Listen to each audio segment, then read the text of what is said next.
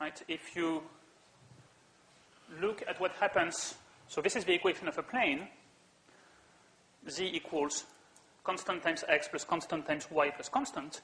And if you look at what happens if I hold y constant and vary x, I recover the first line. If I hold x constant and vary y, I get the second line. Okay, another way to do it, of course, would be to write actually parametric equations of these lines, get vectors along them, and then take the cross product to get the normal vector to the plane, and then get this equation for the plane using the normal vector. That also works, and it gives you the same formula. So, you know, if you're curious, exercise, do it again using parametrics and using cross product to get the plane equation. Okay, so that's how we get the tangent plane. And now what this approximation formula here says is that, in fact, the graph of a function is close to the tangent plane.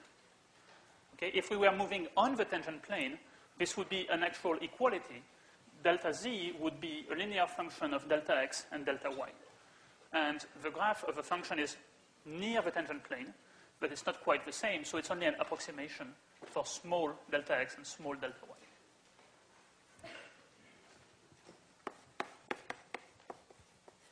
So the approximation formula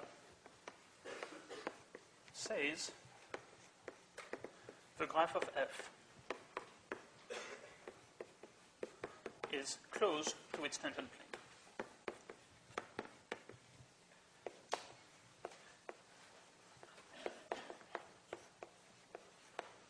Okay? And we can use that formula over here now to estimate how the value of f changes if I change x and y at the same time. Okay, questions about that?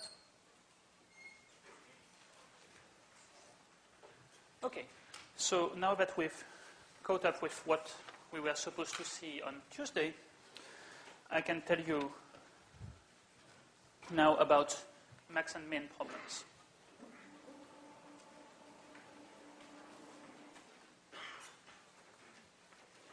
So that's going to be an application of partial derivatives.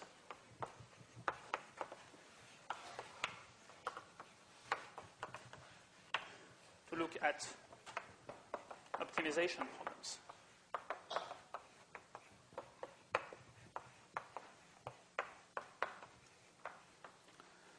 Okay, so maybe you know 10 years from now, when you have a real job, your job might be to actually minimize the cost of something or maximize the profit of something or um, whatever. But typically, the function that you will have to you know, strive to minimize or maximize will depend on several variables.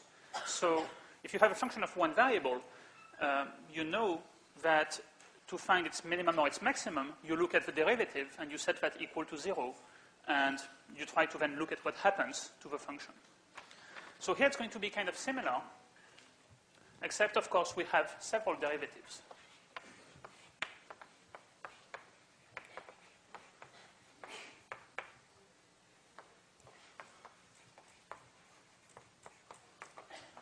Okay, so for today we'll think about a function of two variables, but it works exactly the same if you have three variables, ten variables, a million variables. So the first observation is that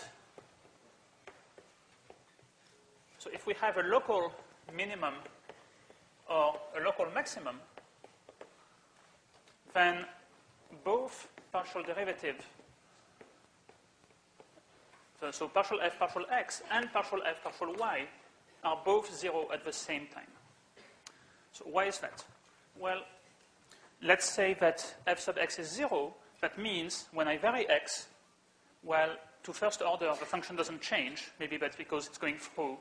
If I look only at the slice parallel to the x-axis, then maybe I'm going through the minimum.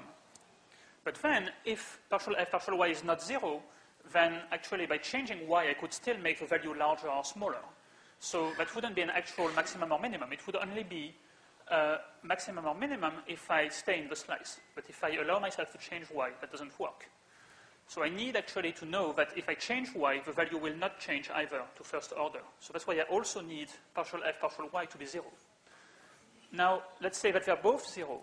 Well, why is that enough? It's essentially enough because of this formula telling me that if both of these guys are 0, then to first order, the function doesn't change. And then, of course, there will be maybe quadratic terms that will actually turn that, you know, this won't really say that your function is actually constant. It will just tell you that maybe uh, it will be actually quadratic or higher order in delta x and delta y. And that's what you expect to have at a maximum or a minimum. Okay? So we have okay, so that condition is the same thing as saying that the tangent plane to the graph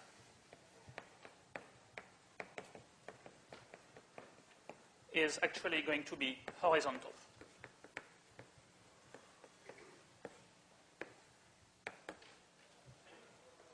Okay, and that's what you want to have. Say you have a minimum. Well, see that the tangent plane at this point, at the bottom of the graph, is going to be horizontal. And you can see that on this equation of the tangent plane, when both these coefficients are zero, that's when the equation becomes z equals constant, the horizontal plane. Okay, does that make sense? Okay, so we'll have a name for this kind of point, because actually what we'll see very soon is that these conditions are necessary, but they're not sufficient. There's actually other kinds of points where the partial derivatives are zero. So let's give a name to this, we say, definition, we say that x, let's say x0, y0, is a critical point of f.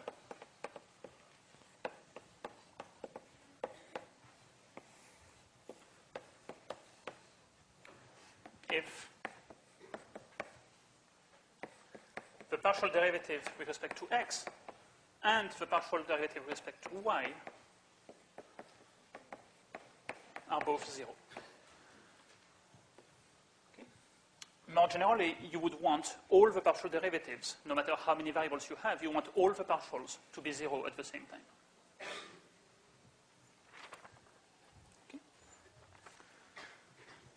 So let's see an example.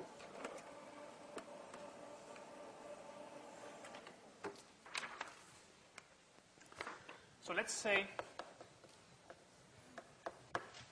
I give you the function f of xy equals x squared minus 2xy plus 3y squared plus 2x minus 2y.